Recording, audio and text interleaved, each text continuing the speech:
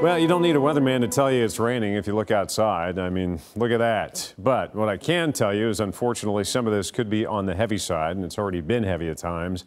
And what I can also tell you is that it could persist into the upcoming weekend. So a very dreary view to start the weekend off, and it is a lone shower. I mean, you see the coverage. It's pretty sparse, but we've got one that's opened up right over downtown Lexington. We have additional showers, some of the heaviest rain and lightning as you get down around Irvine. So we've got a uh, flood advisory, a couple of flood advisories in effect down there. Uh, heavy enough rain that you could have standing water on the roads and a little bit of minor flooding. And quite often those flood advisories can be precursors to flood warnings or even flash flood warnings, which is what we're going to be keeping a close eye on into the afternoon because there are additional showers and storms southwest and it's all just gradually drifting off to the northeast. So they're not moving all that fast, and there is plenty of moisture for them to tap into. Just look at the 24-hour rainfall totals via the Kentucky Mesonet. Lexington site has had two inches of rain in the past two hours, 1.9 inches, almost two. An inch in Harrodsburg and Danville, and of course we've got additional showers, thunder showers firing. And these are going to have some pretty efficient rainfall rates where you could see an inch or two of rain per hour.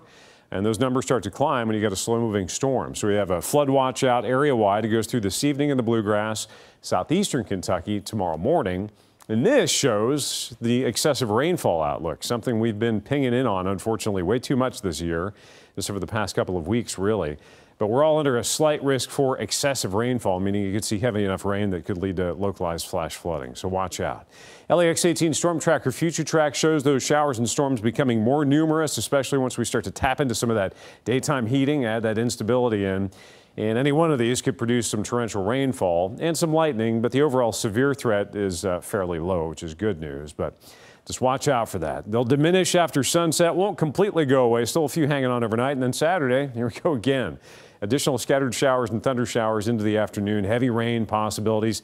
Uh, there's been some discussion as to whether or not they'll extend that flood watch into Saturday as well. So that's a possibility. And then Sunday, we finally catch a break. It won't be completely done, but uh, we'll uh, see, just kind of take our foot off the gas uh, by Sunday as far as the storm chance goes.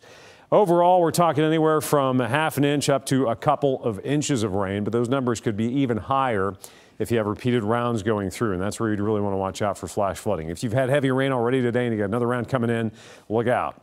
It's 77 degrees in Lexington. It is swampy out there. We've got a dew point in the low 70s, and if you look at the chart, that puts us right firmly in that swampy range. You've got to get much lower to have more comfortable air.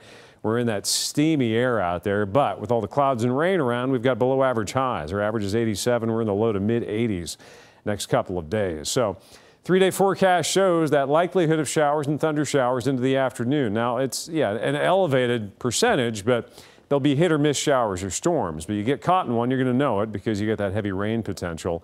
And then tomorrow, it's pretty much on and off throughout the day. Saturday, the best day, the pick day of the weekend is going to be Sunday, the lowest rain chance. We don't get rid of it but it does back off a bit. Unfortunately, it'll spike again after a little bit of a warm up and a reduction in the rain chance. We'll see the rain chance ramping back up and the temperature coming down. Could get into some potential for heavy rain again around next Tuesday or so.